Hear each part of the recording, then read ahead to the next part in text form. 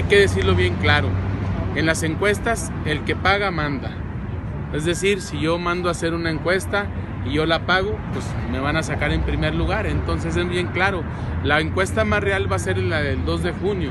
A mí me ha ido muy bien en, estar con la gente, la gente me lo dice, eh, estábamos mejor como estábamos antes, eh, estábamos mejor cuando el PRI gobernaba, hoy lamentablemente tenemos una crisis este, de parálisis, tenemos una parálisis económica, tenemos una situación de los apoyos que les quitaron a la gente y tenemos una situación que no hay una proyección de un de una propuesta viable y realizable. Eh, nosotros nos hemos concentrado a presentarle a la sociedad propuestas concretas, viables y realizables, pero sobre todo dejar en claro, ¿no? El que paga manda las encuestas y el que entonces si pagas una encuesta, pues ya las encuestadoras ya se están prestando a esto.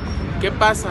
Pues que esto también abona a un desánimo y no y todavía aún más. La, encuestas las encuestas todavía le abonan a una situación de incertidumbre a una falta de seriedad en el proceso y sobre todo pues a una incredibilidad. Entonces este vamos a esperar la encuesta. La, la encuesta final va a ser el día 2 de junio. Nos va a ir muy bien